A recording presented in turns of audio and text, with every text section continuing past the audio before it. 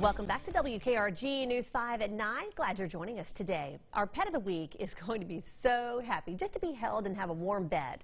He is up for adoption at the Mobile SPCA and ready to have his permanent home. Grateful is the word we are using to describe our pet of the week this week. Joining me is Janine Woods. Hey, Janine. Hello, Devin. Uh, this dog, oh my goodness, he is just so happy to be held. He is. He loves people. He absolutely loves people. He does really well with other Oh. animals. Now this is pitiful. Look Oh, him. put your little head up. His tail is just to go with. I know it. But he is a happy little dog. He's probably a little terrier mix. Mm-hmm.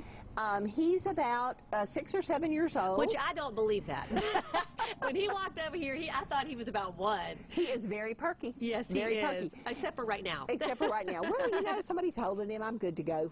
He is a good boy. Um, he is probably house trained. Mm-hmm. He's definitely crate trained. Um, and, and as you said, he's just very appreciative.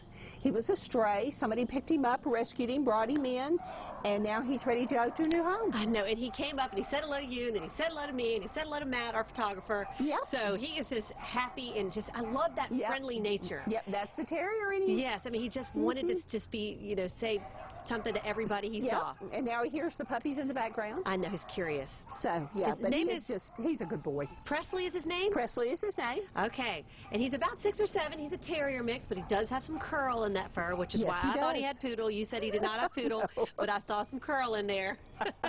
No, it's a little too wiry for poodle. All right, well, he is our pet of the week right here at the Mobile SPCA. Thanks, Janine. Thank you. And if you are interested